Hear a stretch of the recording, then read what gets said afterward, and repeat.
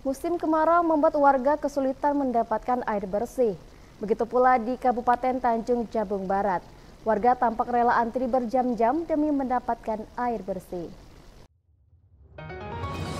Musim kemarau saat ini membuat masyarakat Tanjung Barat kesulitan akan air bersih.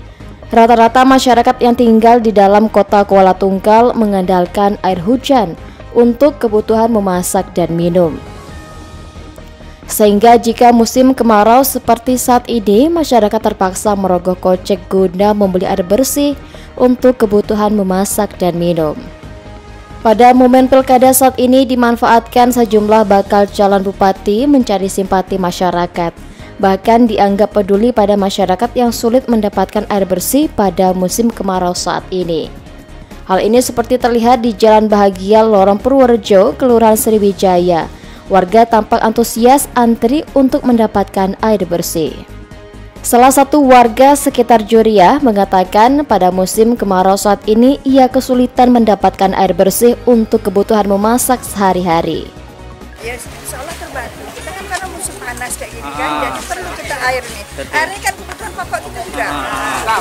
Kita uh, di rumah pakai PDAM apa air sumur bor juga? Air sumur bor. Sumur bor. Tapi uh, setidaknya dengan ada pembagian kita antusias lah ya. Iyalah. Kita pakai apa tadi ngantri? Pakai jerigen apa apa? Pakai jerigen.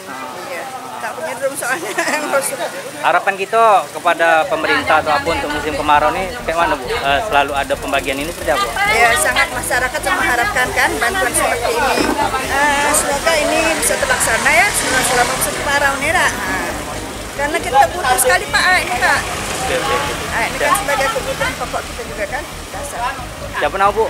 Hal senada juga dikatakan Rajuli, tidak turunnya hujan membuat stok air hujan di drum Tetmonnya semakin berkurang. Dan momen seperti ini ia manfaatkan untuk mendapatkan air bersih untuk kebutuhan memasak. Kalau mungkin sakit terbantu lah. Ah. Ini karena musim musim panas nih. Kan musim panasnya sulit ya. Susah ya. Hmm. hujan kan. Iya, terus juga ada hujan-hujan ya. Yeah. Kita mayoritas pakai air PDAM apa sumur bor di rumah? Kalau anu sumur bor. Sumur bor ya. Sumur bor pun kering juga ya. Mandi. Ada lah ya, ah, dikit ya. Pe kalau PDAM masuk dari sini? PDAM kadang-kadang jalan kadang tidak. Ah, dah kita di rumah pakai PDAM juga dah. Ah, tapi dengan adanya pembagian air ini sangat terbantu lah ya bagi kita ya. Surya Kurniawan, Jack TV melaporkan.